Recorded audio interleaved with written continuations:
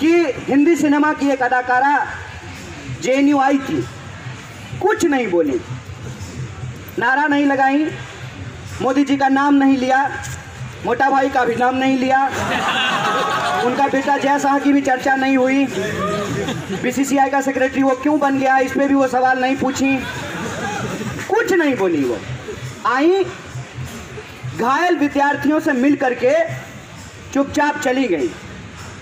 ये कहना शुरू किया कि हम इनका फ़िल्म नहीं देखेंगे। तो मेरे मन में एक सवाल आया कि भाई वो किसी का नाम ही नहीं ली, किसी पार्टी का नाम नहीं ली, किसी विचारधारा का नाम नहीं ली, किसी के खिलाफ नारा नहीं लगाया तो फ़िल्म क्यों नहीं देखेंगे? मतलब ये मानते हैं, जो सरकार के समर्थक हैं, उन्होंने ही जेएनयू में हिंसा की। हमारे काबिल वाइस चांसलर अचानक से मीडिया के सामने अवतरित हुए। सत्तर दिन से आंदोलन चल रहा था। वो कहाँ थे? हो सकता है अच्छे दिन के साथ सो रहे होंगे। उनका एड्रेस नहीं मिल रहा था। फिर वो आए और मीडिया को कहा कि जो ग्रेट पर्सनालिटीज घायलों से आके मिल रहे हैं उनको उनसे भी मिलना चाहिए जिनकी पढ़ाई लिखाई बाधित है। इसको कहते हैं कि अपना काम नहीं कर पा रहे हैं, अपना कार नहीं खरीद कर पा रहे हैं तो पड़ोसी जब कार खरीद के लाया है तो कह रहे हैं कि इसका रंग अच्छा नहीं है। कोई उसको याद दिलाइए कि साहब, ये आपका काम है कि यूनिवर्सिटी में पढ़ाई लिखाई क्यों नहीं हो रही है? तो ये आप जाकर के विद्यार्थियों से बात करेंगे। आप जाकर के अपने शिक्षकों से बात करेंगे। आप अपने कर्मचारियों से जाकर के बात करेंगे। दीपिका पादुकोण जेएनयू की वाइस चांसलर नहीं है। मेरा प्रश्न ये है कि आपके घर में कोई घायल हो जाए और जो हेड ऑफ़ फैमिली है परिवार का मुखिया है वो उससे मिलेगा कि नहीं मिलेगा। वाइस चांसलर बोले हैं कि कोई भी आके हमसे मिल सकता है, हमारा दरवाज़ा खुला रहता है। ऐसा तो अमित शाह भी बोले हैं कि रात को तीन बजे भी मेरे घर में आ सकते हो। बोलिए, ये निमंत्रण है कि धमकी? क्या है ये? वाइस चांसलर कह रहे हैं कि कोई भी आके हमसे मिल सकता है। आपके परिवार का मुखिया अगर कहे, कोई एक्सीडेंट घर में हो गया हो, कि टूटा हुआ टांग लेकर के कोई भी आकर के हमसे मिल सकता है। ये कितनी अजीब बात है इसके बारे में सोचिए। वाइस चांसलर जो घायल स्टूडेंट हैं, उससे मिलने के लिए नहीं गए। मुझे तो एबीवीपी पे भी दया आती है, उसी से मिल लेते हैं। सेल्फी भी एबीवीपी हो जाती है। सेल्फी भी टूटे हुए एबीवीपी क्यों नहीं मिले? आपका कुलीग कहते हैं कि स्टूडेंट का ऑर्गेनाइजेशन है, स्टूडेंट का ऑर्गेनाइजेशन के बीच में आपस में झड़प हो गया। तो भाई टीचर का सर क्यों फोड़ दिए? टीचर कौन सा स्टूडेंट का ऑर्गेनाइजेशन का मेंबर है? इसको समझने का ज़रूरत है कि यह बहस क्यों खड़ा की गई है? यह बहस इसलिए खड़ा किया गया है ताकि आप क्रोनोलॉजी समझते रहिए और ये अपना क्रिमिनोलॉजी चलाते रहेंगे। ये अपराध है और इस देश के गृह मंत्री के ऊपर तरीपार होने का आरोप नहीं है, वो तरीपार थे। उनको गुजरात से बाहर कर दिया गया था। सुन लीजिए दिल्ली पुलिस के हमारे प्रिय आईपीएसओ आप जो है, एक तरीपार का गुलामी करना बंद कर दीजिए आप आईपीएस हैं आप आईपीएस हैं हम में से बहुत सारा स्टूडेंट आईपीएस बनना चाहता है। आप लोग ऐसा कीजिएगा तो इरादा बदल लेंगे। ये क्या है? और वो जो देश के अंदर बहस खड़ा कर रहे हैं, उस बहस पे आप सवाल खड़ा कर दीजिए तो एंटी नेशनल बोलने लगते हैं। दीपिका पादुकोण जब मोदी जी का कैंपेन कर रही थी तो देशभक्त थी। जेएनयू में आ गई तो देशद्रोही हो गई। ये कितनी अजीब बात है। इस देश का नौजवान का सपना आप उससे छीन रहे हैं। उसके पढ़ने लिखने का अधिकार आप उससे छीन रहे हैं। इस देश में गरीब लोग अपनी पढ़ाई नहीं कर सके। आप उसके ऊपर हमला कर रहे हैं। आप सीधे तौर पर यह साजिश कर रहे हैं कि अगर जेएनयू जैसे संस्थान बंद नहीं होंगे तो जेएनयू यूनिवर्सिटी ऑफ़ एमिनेंस कैसे बनेगा? सोच के देखिए जेएनयू अगर रहेगा, डेढ़ सौ रुपए में पीएचडी कराएगा बसंत कुंज में, साउथ दिल्ली में, पहाड़ों के बीच में, पेड़ों के बीच में तो हमको माथा में कुत्ता काटा है कि हम जियो यूनिवर्सिटी में पढ़ने के लिए जाएँगे। ये क्यों है? ये इसलिए है कि जब तक बीएसएनएल भाई साहब नहीं लगेगा, नहीं बनेगा तो जियो धन धनाधन कैसे होगा? बोलिए, जियो धन धनाधन कैसे होगा? आप लोग भी धनाधन कर रहे हैं ना? यहाँ मैं जरा गांधी को ले आता हूँ। गांधी चरखा क्यों काटे थे? क्या लगता है आपको? उसमें इकोनॉमी की लड़ाई नहीं थी। चरखा क्यों काटे थे? ताकि मैनचेस्टर के कपड़े को नहीं पहनेंगे भारत के लोग। अगर आपको लगता है कि जेएनयू को बचाने की लड़ाई सिर्फ़ जेएनयू को बचाने की लड़ाई है, ऐसा नहीं है। जेएनयू को बचाने की लड़ाई इस देश में बीएसएनएल को बचाने की लड़ाई है, रेलवे को बचाने की लड़ाई है एयर इंडिया को बचाने की लड़ाई है, पत्रकारिता को बचाने की लड़ाई है, नागरिक अधिकारों को बचाने की लड़ाई है, संविधान और देश को बचाने की लड़ाई है। ये बात हम तमाम लोगों को समझना चाहिए। और गुस्सा मत होइए। आप भक्त भक्त बोल करके उसकी भावनाओं को हट मत कीजिए। आप ही सोचिए, आपको अगर किसी से मोहब्बत होगी, उसके बारे में खराब बात बोलेगा तो बुरा लगेगा ना? तो आप उसकी भावनाओं को हट मत कीजिए। सिर्फ़ उससे ये पूछिए, दोस्त आओ, चाय पीते हैं। चलो थोड़ा हम भी चाय पर चर्चा कर लें। ये बताओ, एक ही तो दिल है तुम्हारे पास। मोदी जी जीत लिए हैं। कोई दिक्कत नहीं है। दिल तुम उनको दे दिए। दिल दे चुके सनम। दिमाग तो है। एक दिमाग भी तो है। एक दिमाग है ना आपके पास? अब सोच के देखिए। दिल्ली का चुनाव हो रहा है। करोड़ों लोग यहाँ पे रहते हैं। दिल्ली की अपनी समस्याएँ हैं। दिल्ली में लोगों के फेफड़े खराब हो रहे हैं। एडवाइजरी जारी होता है कि सुबह टहलने के लिए नहीं निकलिए। जबकि कहा जाता है कि सुबह टहलने से लोग स्वस्थ रहते हैं, दिल्ली में अस्वस्थ हो जाते हैं। यह दिल्ली की समस्या है। एल के जी में, यू के जी में एडमिशन कराने के लिए माँ बाप को तब से ही चिंता होने लगती है जब वो बी आर प्रेगनेंट हो जाते हैं। ये सच है कि इंटरव्यू की तैयारी करते हैं बच्चों से पहले माँ बाप। एल के जी यू के जी में एडमिशन कैसे होगा? लोगों के पास पार्किंग की समस्याएँ हैं। कार खरीदना चाहते हैं, लेकिन लगाने की जगह नहीं है। जहाँ पे दोस्त ऐसे मोहल्लों में रहें, जहाँ कार ले जाने में दिक्कत हो तो दोस्ती छूट जाती है। लोग जो है वैसी जगह पे गेट टुगेदर करना पसंद करते हैं, जहाँ पार्किंग हो सके। दिल्ली के लोग, साफ़ हवा, साफ़ पानी, अच्छी शिक्षा, बिजली, सुरक्षा, ये मांग रहे हैं। ये कह रहे हैं कि नहीं हमारे पास तो कोई मुद्दा है नहीं। इसीलिए हम जेएनयू के नाम पे चुनाव लड़ेंगे।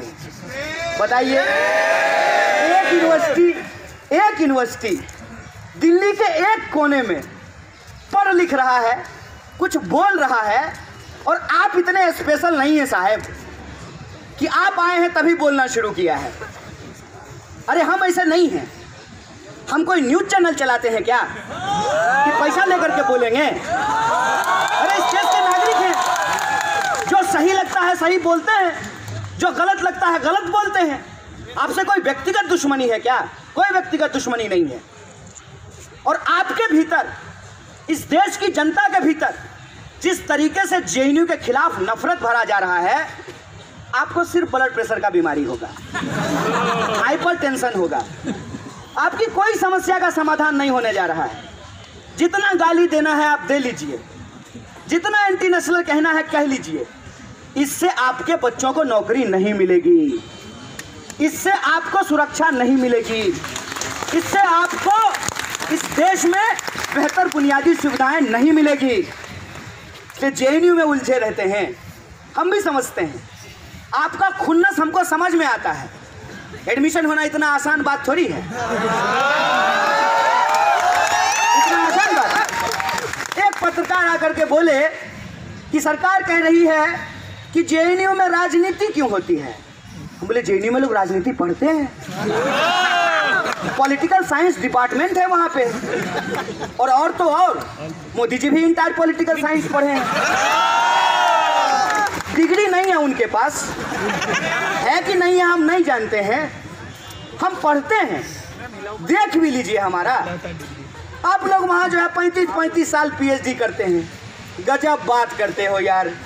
पैंतीस साल में हम पीएचडी कर लिए तो अपराध कर दिए। अब मोदी जी एमए किए, वो भी डिग्री नहीं दिखा रहे हैं तो बजाओ ताली। ये कैसी बात है? किन चीज़ों पे बहस कर रहे हो? कह रहे हो कि जेएनयू में पार्टी होता है। दिक्कत है। पार्टी नहीं होना चाहिए। तो आप क्यों बर्थडे पार्टी करते हैं? तो आपको क्या लगता है कि जेएनयू में लोग पैदा होकर के नहीं आए हैं? जेएनयू में तो लोग पैदा होकर के आए हैं ना? उनका भी कोई बर्थडे होगा ना? अरे कम से कम इस जनरेशन का तो होगा ही जो इंस्टाग्राम चला रहा है। एक दिन अम्मा को हम पूछे, अम्मा, तुम कब पैदा हुई? तो बोली, बारिश का मौसम था। भैंस को तो बच्चे हुए थे। अब बोलेगा भैंस को जाके कैसे पूछेंगे, बताओ, तुम कब प्रेग्नेंट हुई ये जनरेशन है बोलिए ये पार्टी नहीं करेगा। करेगा पार्टी। दिक्कत किस बात से है? एक बात बता दीजिए कि हमको भाई, इस बात से दिक्कत है जेएनयू से। कोई एक चीज़ बता दीजिए। किस बात से दिक्कत है? पार्टी करते हैं, उससे दिक्कत है। पता नहीं गिनती कैसे गिना। नजीब को आज तक नहीं ढूंढ पाए। जेएनयू के डस्टबिन से तीन हज़ार condom. Visual visual visual visual दिमाग में लाइए। डस्टबिन के पास बैठ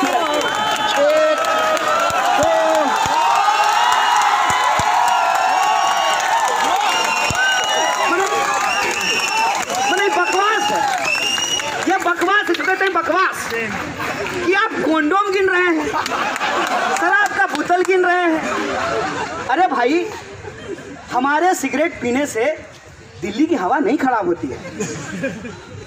जो पीता है, फ़ोटो लगा हुआ है भाई उस पर कि अगर आप पढ़ नहीं सकते हैं तो फ़ोटो देख लीजिए।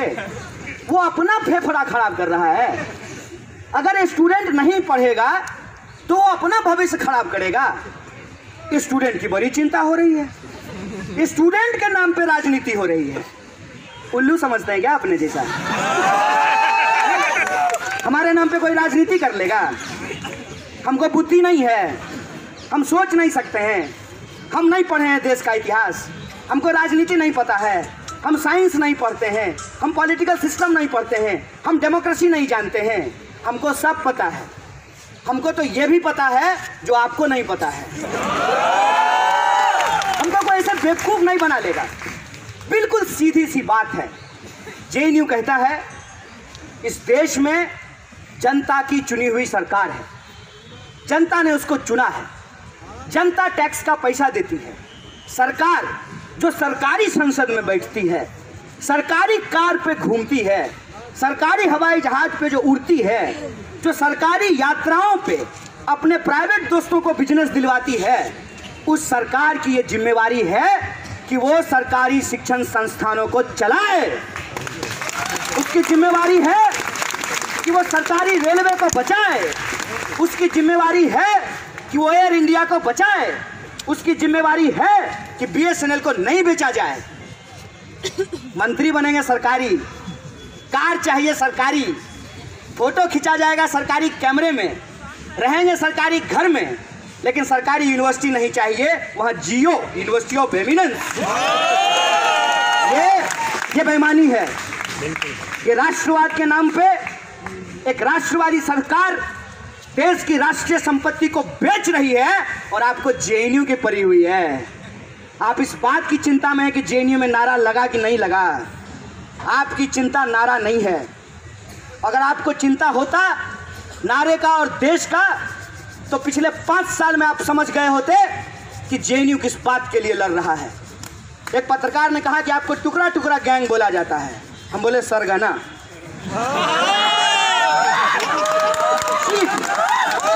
चीफ बोला जाता है। और यहाँ मंत्री जी के दफ्तर के बाहर, दिन दहाड़े, बिना नकाब के, इतने लोगों के सामने स्वीकार करता हूँ कि हूँ, देश का नहीं कराएँगे टुकड़ा। आपका टुकड़ा करेंगे, भाजपा का टुकड़ा करेंगे। ये ऐलान है। ये इसको हमारा इकबालिया बयान समझिए आप। ये हमारा ऐलान समझिए आप। कि देश को तोड़ने की आपकी साजिश, देश को नफरत के आग में जलाने की आपकी साजिश, बेईमानी के आधार पर आपकी राज करने की साजिश को नाकाम करेंगे। और आपको क्या लगता है कि आप कभी रिजर्वेशन को गाली दे करके, कभी पब्लिक फंडेड यूनिवर्सिटी को गाली दे करके, कभी मेरिट का तर्क ला करके हमारी लड़ाई को गुमराह कर देंगे? आइए, भेजिए जिसको भेजना है। जौन सा आपका सबसे सुयोग्य संतान है, उसको भेजिए बहस करने के लिए। हम बहस करेंगे आपसे। हम आपको बताएँगे कि मेरिट क्या होता है। मेरिट ये होता है कि इस देश के गरीब से गरीब इंसान के बच्चे, पिछड़े से पिछड़े इलाके के बच्चे काला हांडी से आते हैं। भाई साहब, जहाँ आज तक बिजली नहीं पहुँची है, जहाँ बिजली नहीं पहुँची है, वहाँ के बच्चे अपनी मातृभाषा तो जानते ही हैं। बांग्ला, उड़िया, भोजपुरी, मैथिली, मलयालम, कन्नड़, तमिल, तेलुगु असमिस ये सब भाषा तो वो जानते ही हैं। आपकी फर्राटेदार अंग्रेज़ी भी सीख करके एंट्रेंस देते हैं पास करके नौकरी लेते हैं। और मेरिट की बात करते हैं। क्या मेरिट है? आपके लल्ला का? क्या साहब क्या मेरिट मेरिट है। सिर्फ़ इस बात को छोड़ दिया जाए कि उनकी शकल हूबहू अमित शाह से मिलती है। उस आदमी का क्या मेरिट है? उसको कैसे इस देश में बीसीसीआई का सेक्रेटरी बना दिया गया है? पूछेंगे कोई सवाल? कोई ठोकेगा ताल? बताएगा कि नेशन वांट्स टू नो हम चैलेंज करते हैं। हिम्मत करेंगे सवाल? जेएनयू से आपको चिड़ इसलिए है कि जेएनयू सिर्फ़ जवाब देना नहीं सिखाता है। जेएनयू सवाल पूछना सिखाता है। और वो रवायत वो रवायत हमारे भीतर है। और आपको ये लगता है, पुलिस से हमारी कोई लड़ाई नहीं है। क्योंकि हम लोग हमेशा ये नारा लगाए हैं। ये अंदर की बात है, पुलिस हमारे साथ है। जेएनयू जब बचेगा तो आपका बच्चा भी पढ़ेगा। कोशिश करके देख लीजिए देखिए आपको बच्चे को पढ़ाने में क्या तकलीफ़ होती है। और मेरी माँ तो सरकारी नौकरी नहीं है, तीन हज़ार कमाती है। बताइए, जेएनयू था, इतना पढ़ा के सिखा दिया है ना, कि जो आप पे हुक्म चलाता है ना, उसको हम आँख दिखाते हैं। जेएनयू की बचाने की लड़ाई आपके हक और अधिकार की लड़ाई है। आपके बच्चों के पढ़ने की लड़ाई है। इस देश में गरीब से गरीब इंसान ये सोच सके कि हम पीएचडी करेंगे। हम भी अंग्रेज़ी बोलेंगे। हम भी जीव टेढ़ी करके ब्रिटिश और अमेरिकन दोनों एक्सेंट में अंग्रेज़ी ये ये आत्मविश्वास देता है ये यूनिवर्सिटी ये यूनिवर्सिटी डराती नहीं है। ये यूनिवर्सिटी ये नहीं देखता है कि आपके बटुए में पैसा कितना है। ये यूनिवर्सिटी ये नहीं देखती है कि आप जूता किस ब्रांड का पहन करके आए हैं। ये यूनिवर्सिटी ये नहीं देखती है कि मोदी जी की तरह आपने जर्मन चश्मा लगाया है कि नहीं लगाया। ये यूनिवर्सिटी ये नहीं देखती है कि आपके पप्पा के पास लेटेस्ट एप्पल है कि नहीं है? ये यूनिवर्सिटी आपकी टूटी फूटी अंग्रेज़ी के चलते आपको बेइज्जत नहीं करती है। ये यूनिवर्सिटी आपको सिखाती है, आपके साथ बैठती है, आपके भीतर आत्मविश्वास पैदा करती है। इस यूनिवर्सिटी का गेट किसी को डराता नहीं है, क्योंकि ये यूनिवर्सिटी यूनिवर्सिटी है। किसी मॉल में चलने वाला कोई 50 परसेंट छूट की सेल वाला दुकान नहीं है अगर अगर आपके पास नहीं है तो आप मॉल के शीशे वाले गेट के भीतर घुसने का हिम्मत नहीं करेंगे।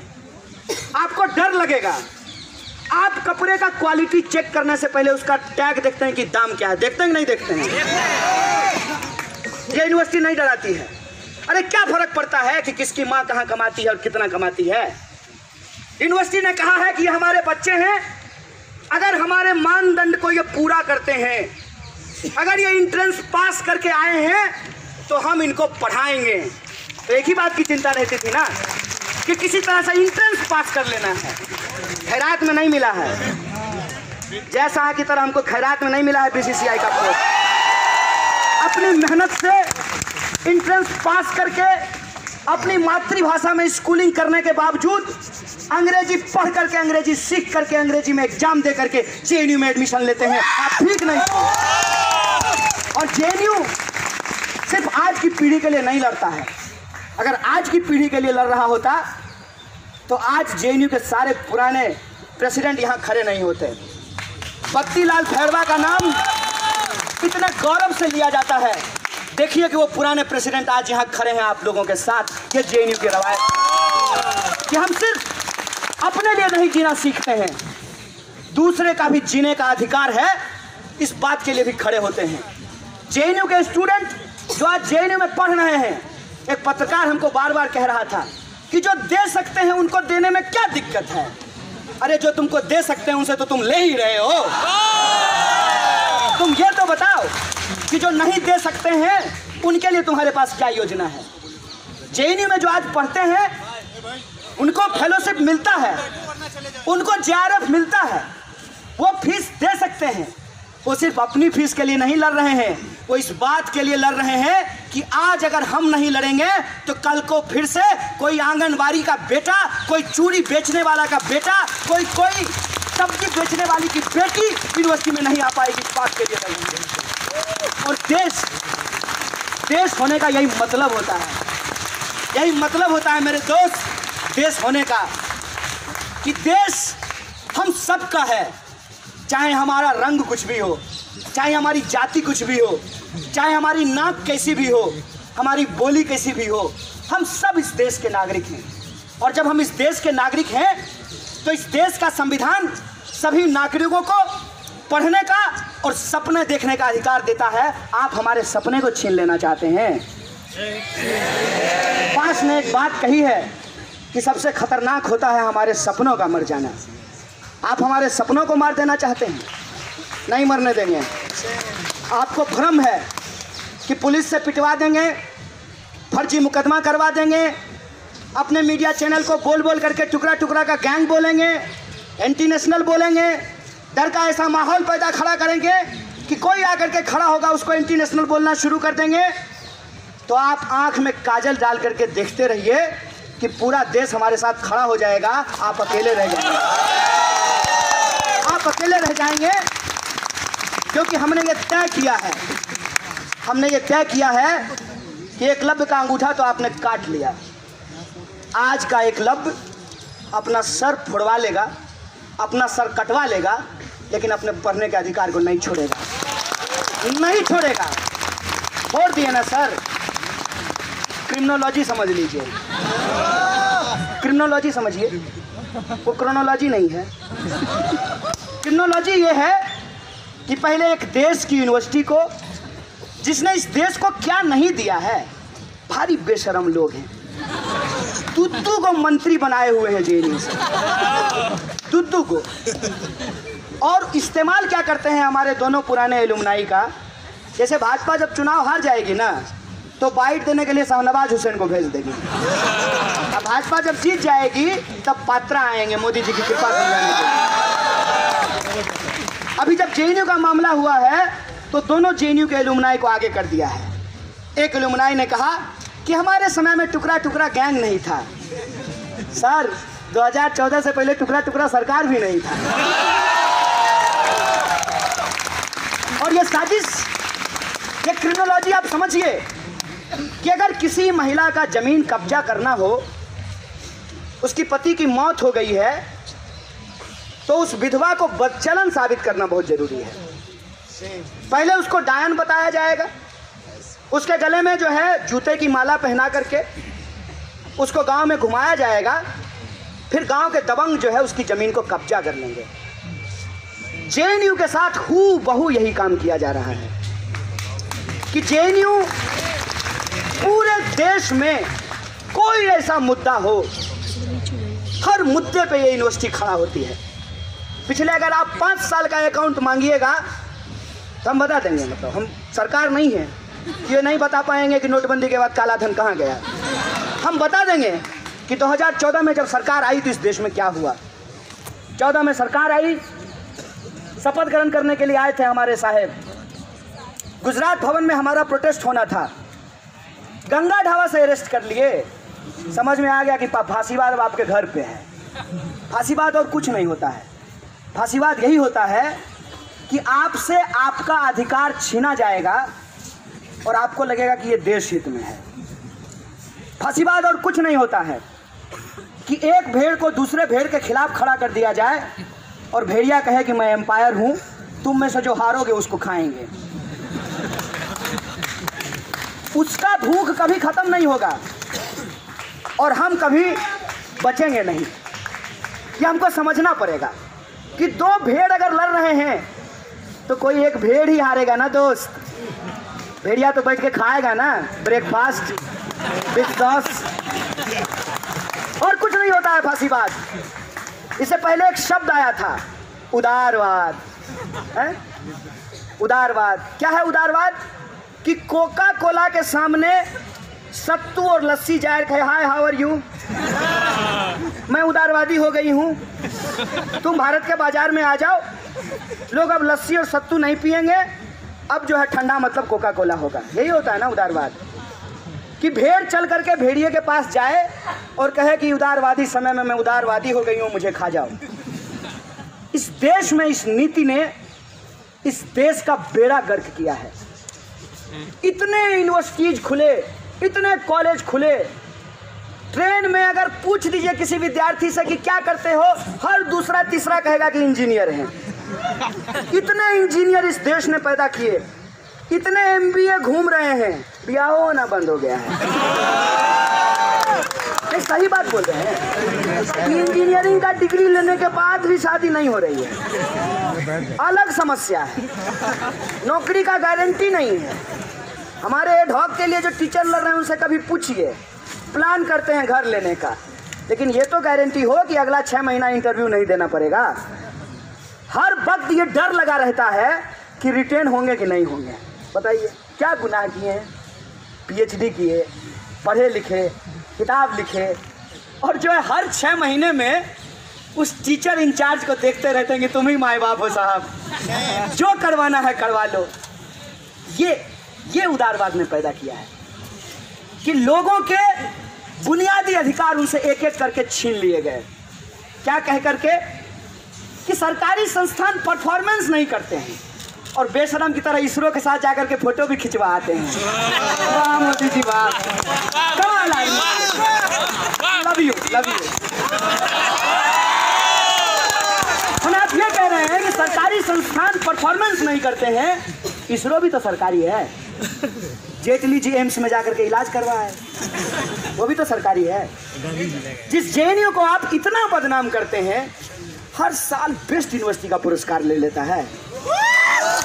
यही गुनाह है यही गुनाह है कि आप सोचते हैं, इसलिए आपके सर पे रॉड मारा गया है। आपके सर पे रॉड मारा गया पास को उनके सर में गोली मारी गई थी। किस लिए? सोचते थे क्योंकि वो सोचते हैं। और भगत सिंह ने कहा है, इंसान को मार दोगे, विचार को कैसे मारोगे? कैसे मारोगे विचार और ये जो आपकी विचारधारा है, इस विचारधारा से उनको डर लगता है। इसीलिए ये एशियन पेंट का दुकान खोल करके बैठ गए हैं। जिसको देखिए, उसको जो है, ये पेंटिंग करते रहते हैं। ब्रश उठाते हैं, ये लाल रंग है लाल रंग से रंगे हुए सभी पदार्थ को आज से एंटी नेशनल कहा जाएगा। यस कोई रंग की लड़ाई हो रही है? किसी रंग के लिए लड़ रहे हैं? भविष्य के लिए लड़ रहे हैं, दोस्त। कोई रंग की लड़ाई लड़ रहे हैं? हमारे जेएनयू के टीचर को गृह मंत्री बनना है कि अमित शाह के खिलाफ बोल रहे हैं? प्रधानमंत्री इनको बनना है? अरे ये आरोप अगर मेरे ऊपर लगाएँगे तो ठीक है, हम चुनाव लड़े। तो हम तो लड़ ही रहे आपसे। हम तो लड़ ही रहे हैं, लड़ रहे हैं, हर जगह लड़ेंगे।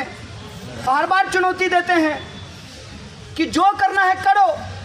तैयार है झेलने के लिए। जेल भी कोई बुरी जगह नहीं होती है। जब समाज भी जेल जैसा हो जाए तो जेल भी बुरा नहीं हो जहाँ आपके खाने पीने पे पाबंदी हो, प्यार करने पे पाबंदी हो, बताइए, इश्क हो गया। जात के चलते ब्याह नहीं कर पाए। सोचिएगा, आप भी जवान रहे होंगे कभी। इश्क हुआ। जात के चलते ब्याह नहीं कर पाए, बताइए, इससे ज़्यादा तकलीफ़ और कुछ होगा? हैं? और कह रहा है कि नाम देख करके, नाम देख करके टाइटिल देख करके कैब बुक कीजिए? बताइए।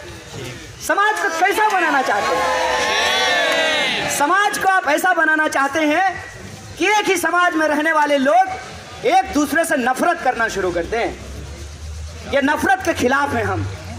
ये नफरत नहीं चाहिए हमको। हमारी सीधी सी मांग है। वो मांग ये है कि हमको पढ़ने का अधिकार मिलना चाहिए।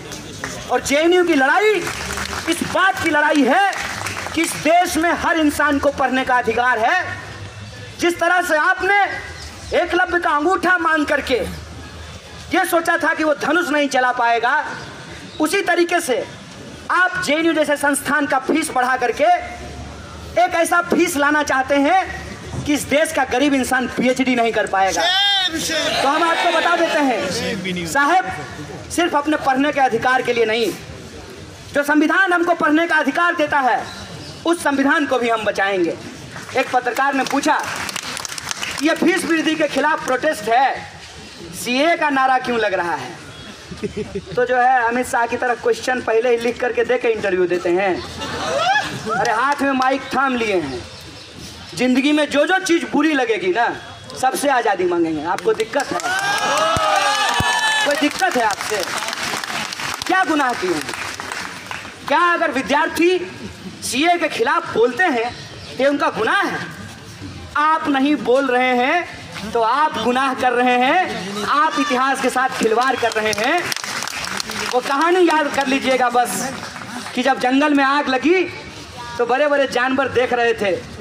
एक कोयल अपनी छोटी सी चोंच में पानी की बूंदों को भरकर जंगल को बचाने का प्रयास कर रही थी।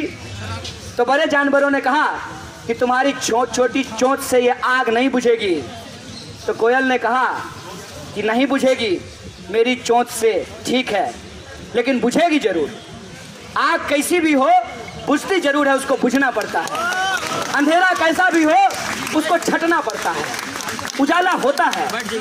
और जब ऐसा होगा तो तुम्हारा नाम आग लगाने वालों में और हमारा नाम बुझाने वालों में लिखा जाएगा। आज जो लोग जेएनयू के साथ खड़े हो रहे हैं हो सकता है। हो सकता है कि उनको अपने फैमिली के व्हाट्सएप ग्रुप में एंटी नेशनल बोला जाता हो। हो सकता है कि पिताजी को गुस्सा किसी और बात का था।